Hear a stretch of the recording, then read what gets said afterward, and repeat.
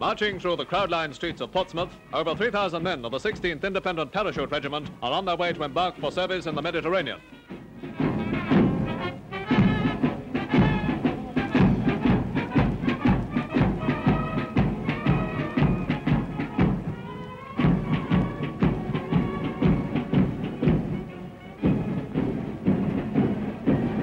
A salute from a famous veteran for one of the youngest arms of the services. Pegasus, the two and a half year old Welsh pony, proved himself a spirited mascot. Yes, these Sky troops are off to Cyprus for a tour of duty abroad.